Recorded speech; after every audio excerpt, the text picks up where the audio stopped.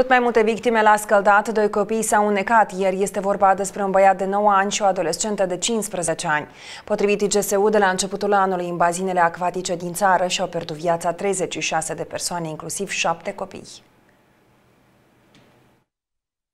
În seara de 27 iunie, scafandrii din capital au fost solicitați să intervină în lacul Ghidighici. Un băiat în vârstă de 9 ani ar fi intrat în apă și nu a mai ieșit. Acesta a mers la scăldat cu familia, însă în lac a intrat singur. Apropiații au stabilit că minorul nu este și au alertat serviciul 112. La fața locului a intervenit o echipă de salvatori care a efectuat scufundări în lac. Corpul neînsuflețit al băiatului a fost recuperat la distanță de câțiva metri de la mal. În dimineața de ieri, scafandrii au recuperat și cadavrul unei fete în vârstă de 15 ani care s-a înnecat în după amiaza zilei de 26 26 iunie în râul Nistru, în apropiere de localitatea Răscăieți. Potrivit primelor informații, fata a mers la scăldat cu alte două prietene. Două fete au intrat în râu, iar una se afla pe mal. La scurt timp au venit primele semnale de nec. Minora aflată pe mal a încercat să le salveze pe cele două fete, reușind să scoată doar una. Fata de 15 ani a ajuns sub apă și nu a mai ieșit. La fața locului au fost alertați salvatorii care au efectuat lucrări de căutare subacvatică pe parcursul serii, fiind suspendate noaptea. În dimineața de duminică, corpul neînsuflețit al minorei a fost găsit de echipa de scafandri la o distanță de 70 de metri de locul în care a intrat în apă la o adâncime de 5 metri. În acest context, salvatorii îndeamnă oamenii să nu meargă la scăldat în locuri neautorizate și necunoscute, iar persoanele care au în grijă minori să-i monitorizeze strict și să nu le permită aflarea în locuri nesigure.